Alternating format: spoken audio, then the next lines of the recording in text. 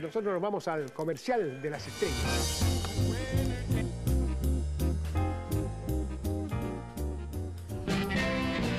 Jesse James and Frank James, Billy Kid, all the rest.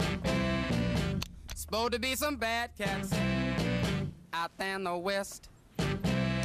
But when they dug me and my gangster ways, they hung up their guns and made it to the grave. Cause I'm a gangster of love.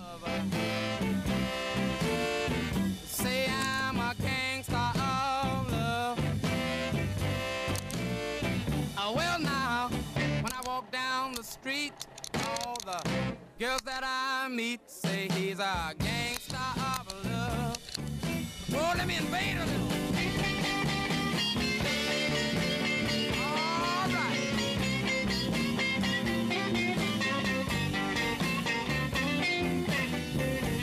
Click, the new fragrance from Axe.